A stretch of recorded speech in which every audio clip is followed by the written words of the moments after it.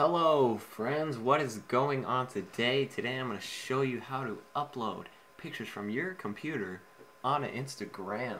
Alright, so first thing you're going to do is download this software called Gramblr. It's virus free, it's protected, it's everything, it's a really good software. So you're just going to go down here, just going to click right here, download here.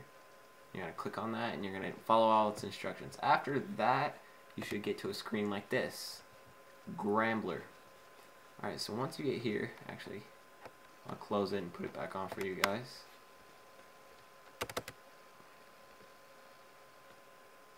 You're going to get to a screen, Sup Paul George, and uh, that actually looks like this. And you're going to want to put your username and password in here.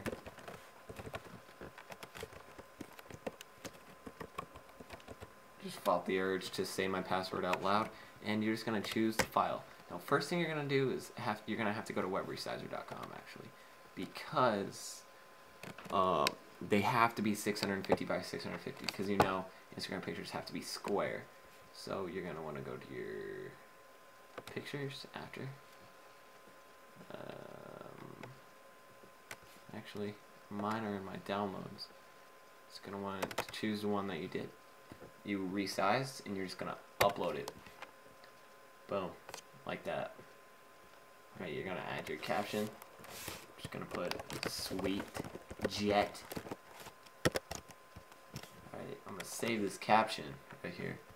And boom, it's on there. So now we're gonna go to the Instagram website and log in. See if it worked. Which I know it did, since I've done this many, many times for nice pictures out of either Photoshopped or something. Uh, but I want to log in.